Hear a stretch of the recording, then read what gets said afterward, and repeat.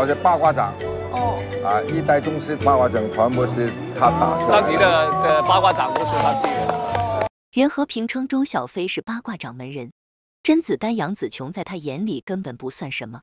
周小飞这个名字也许没有杨紫琼更耳熟能详，却是娱乐圈中打架最牛的女人，连很多武打男星都不是她的对手。此前，周小飞在某次大佬聚会中，很多明星都瞧不起，甚至不知道他这号人物。袁和平看不过去，便郑重告知大家，如今世上打的最好的八卦掌只有他了。可想而知，能让袁和平说出这番话的周小飞，实力非比寻常。当时此番言论就得到了外界热议。后来，周小飞便被邀请参与了《叶问四》拍摄。虽然在电影中他最终没有打败外国佬，但可以看出周小飞展现八卦掌真正的实力。仅仅一只手就可以打爆这名外国壮汉，从他的出招方式就可以看出功底雄厚。甄子丹曾评价他出招快准狠，武打风格极具个人特色，出掌力是普通人的十倍。正常成年男子被他一掌击中，甚至会被打飞吐血。所以电影里绝对不是特效。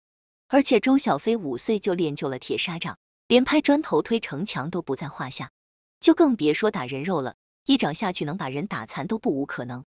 周小飞不仅八卦掌无敌，就连剑枪拳都不在话下，还是国家五英级运动员。当年还没出名的他，都是许多大牌一线演员的替身，就连功夫之皇李连杰都专门来向他请教过八卦掌的打法，所以区区只会格斗的老外根本不在话下。就连甄子丹后来接受采访都说，周小飞是如今唯一真正的武打女星了。毕竟其余的武打女星大多数都是演技派，真正的实力并非那么牛。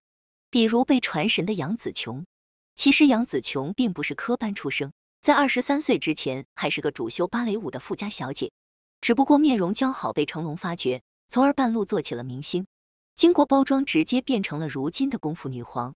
但是周小飞却是出身武术世家，五岁就开始习武，这样一对比就能看出两人的武术功底差距甚大。杨紫琼大多数的武打动作都是经过指导、精心研究设计，所以上阵时加上特效替身。所以打出来顺畅，画面流畅优美。而周小飞几乎都是一遍过，从来都是亲自上阵，而且真拳实脚对打，毕竟是女儿身，碰到实力超强的对手，所以会略显吃力。而且总是演边缘角色，大多数以受伤死亡结尾，所以很难让观众有印象。相比杨紫琼，运气都非常好，出演的都是大女主角色，所以娱乐圈中虽说周小飞在武打女星中与李连杰都起名。但是地位却还是比不过杨紫琼，难怪袁和平会为此力推周小飞。这次在叶问中崭露头角，也深受观众喜爱。希望周小飞未来能够打出更精彩的功夫片。对此你怎么看？